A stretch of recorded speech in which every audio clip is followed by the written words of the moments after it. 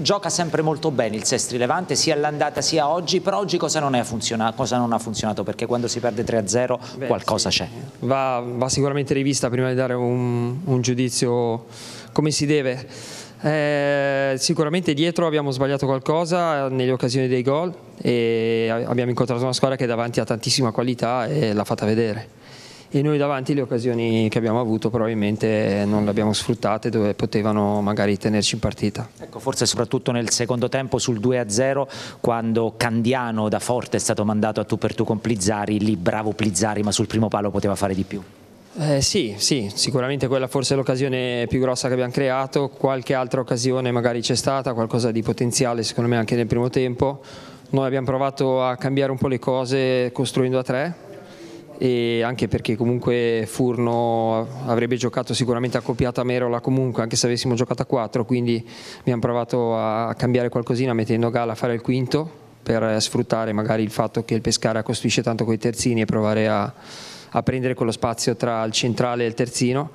Uh, a volte l'abbiamo fatto, qualche volta ci è mancata la qualità per sfruttarlo, ci sono stati tanti due contro due dove abbiamo sbagliato ultimo passaggio, scelta e purtroppo eh, se sbagli quelle cose lì poi non puoi far male all'avversario. Ecco, io provo a dire dove magari potete avere qualche rimpianto, perché nel primo tempo, quando il Pescara era nella vostra tre quarti e un paio di occasioni ha sbagliato il passaggio, siete ripartiti anche con l'uomo in più rispetto al Pescara, lì forse è mancato l'ultimo passaggio? Sì, è un uh, paio di giornate che avevamo, da un paio di giornate avevamo rimesso a posto un po' la fase difensiva, ma avevamo ricominciato ad avere i soliti problemi dell'andata a segnare, a costruire, a fare l'ultimo passaggio e la zona di rifinitura quindi si stanno ripalesando di nuovo gli stessi problemi e quindi dobbiamo metterci mano in qualche modo. Studio per Barilari.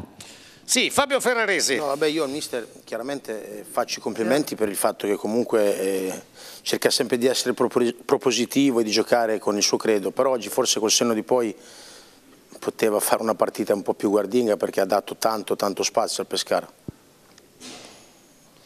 Ma nelle idee doveva essere una partita un po' guardinga perché il, io credo che il piano gara vada visto nella prima mezz'ora e da lì si vede cosa uno aveva più o meno preparato. Noi in teoria eravamo 3-5-2 e quindi è vero che utilizzavamo un terzino nei tre però avevamo Podda a fare il quinta a destra e Gala a fare il quinta a sinistra quindi non eravamo poi così sbilanciati, tanto è vero che abbiamo preso abbiamo preso poi diciamo, un infortunio sul primo gol, quindi fino a quello direi che anzi eravamo forse troppo dietro, non eh, troppo avanti, tant'è vero che abbiamo subito una valanga di calci d'angolo, Era, probabilmente eravamo un po' troppo bassi perché ci abbassavamo a 5, quindi diciamo che più prudenti che difendere a 5 forse non, non ci può essere in questo caso.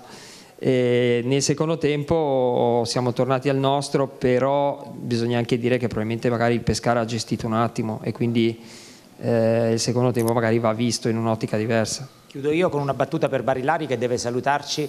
Lei in conferenza ha detto per preparare una partita contro una squadra di Zeman ci vogliono mesi, mesi e mesi. Ma eh, cosa, cosa ha fatto questa settimana per provare a limitare il pescato? Eh, come le dicevo prima, abbiamo provato a lavorare sui punti dove potevamo far male loro, cioè sul fatto che appunto costruendo con entrambi i terzini, spesso sbilanciandosi un po' e lasciando il 2 contro 2, abbiamo messo a posta due attaccanti per giocarci quel 2 contro 2 e soprattutto per andarli a prendere tra centrale e terzino.